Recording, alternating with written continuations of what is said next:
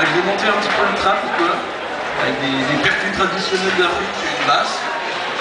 Voilà, donc euh, notre répertoire, c'est essentiellement du trap du Morvan on a un petit peu amélioré à notre sauce.